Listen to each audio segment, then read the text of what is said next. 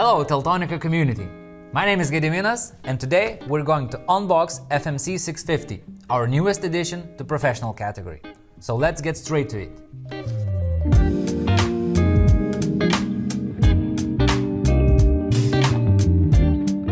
So let's see what's inside the box of FMC 650.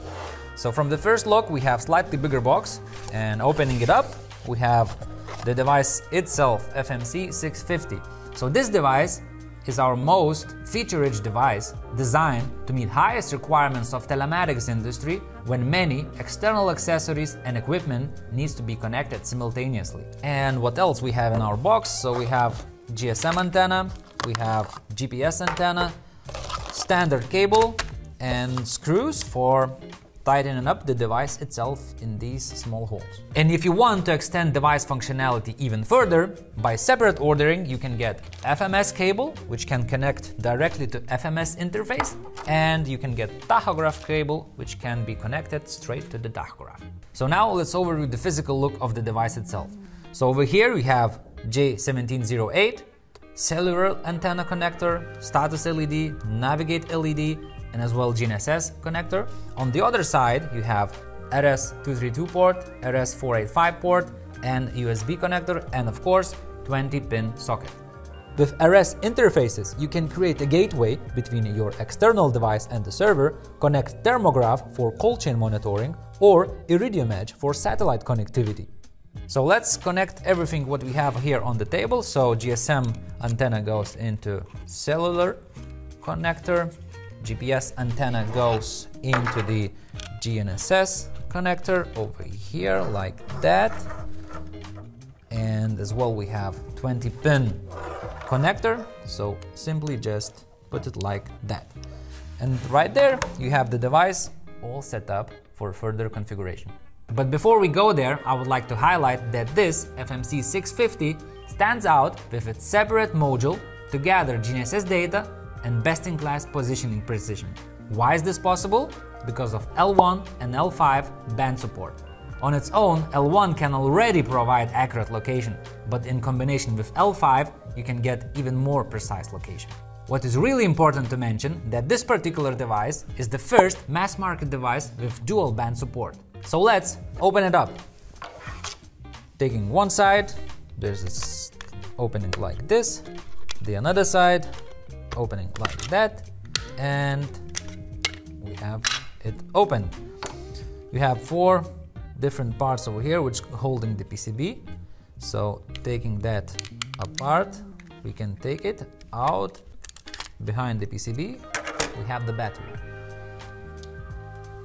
So now I will not connect the battery itself, so but here's the connector of the battery here, the module itself, as well on the other side, the SIM card slot, and as well the additional SD card slot.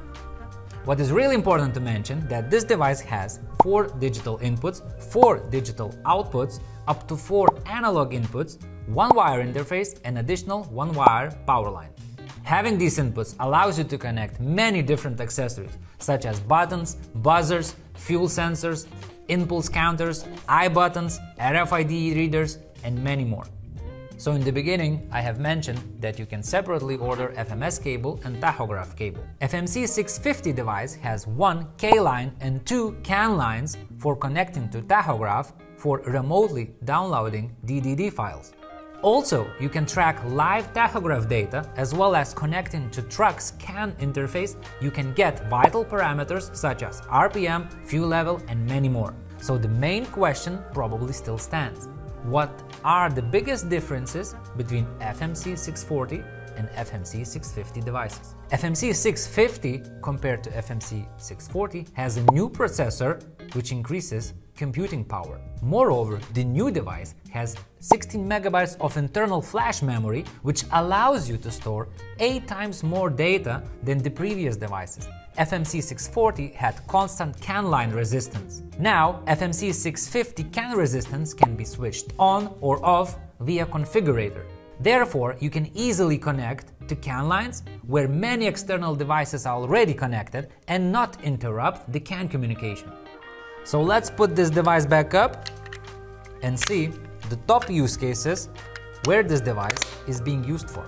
This particular tracker can be used in multiple different use cases, such as heavy duty and mining equipment monitoring, cold chain supply monitoring, remote tachograph data download, CAN data reading from trucks and heavy duty machinery, and many other use cases where precise location is required. And now, let's go to the summary of FMC 650. So, the key takeaways of this device number one, new GNSS dual band L1 plus L5 support, which significantly increases your tracking quality. Number two, better connectivity in EMEA, APAC, LATAM regions with new 4G LTE Cat 1 module.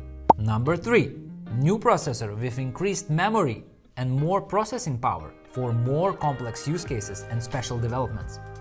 4. Easily connect to CAN lines where many external devices are already connected and not interrupt the CAN communication. So that pretty much sums up the most important things of FMC 650. So thanks for watching, don't forget to subscribe to our YouTube channel, follow us on LinkedIn, and have a nice day.